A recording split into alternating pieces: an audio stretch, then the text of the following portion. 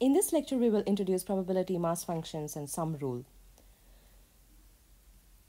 Let's A to A1 to AN be a set of mutually exclusive events such that sigma of i equal to 1 to n p of ai is equal to 1. So what does this mean? If we have a coin, again, let's take the coin example. A coin can land heads or tails. So the event that the coin lands heads versus the event where the coin lands tails. These two events are now called mutually exclusive events because one event does not include any outcome from the other event.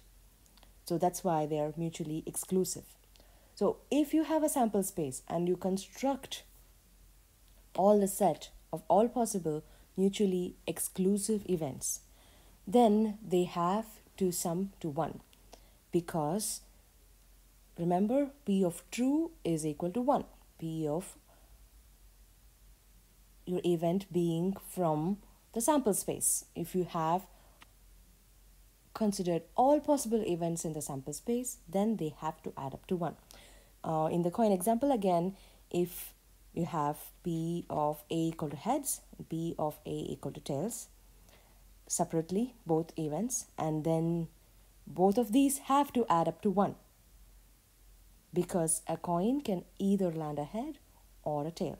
So whenever it has not landed heads it has landed tails so it has gone to the other event. So what is the combined probability of this together?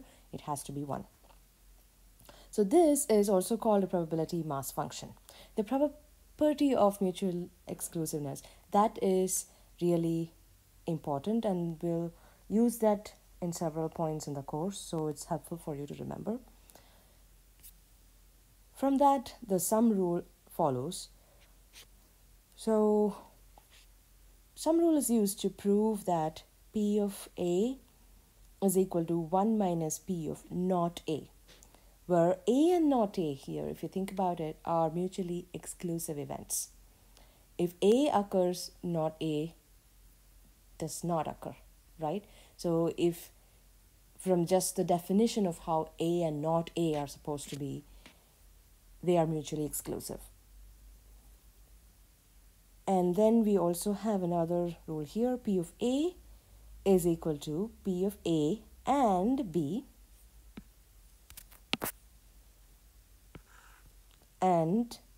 plus P of A and not B.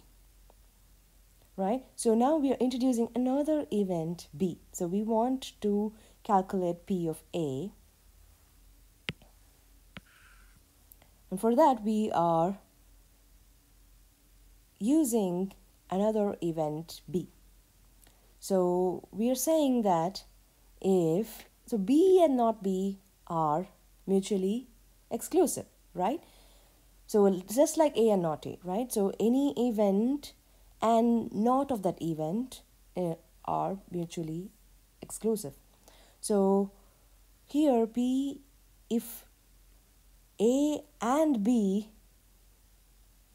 is this area where both A and B occur. And A and not B is this area where A occurs and not B occurs.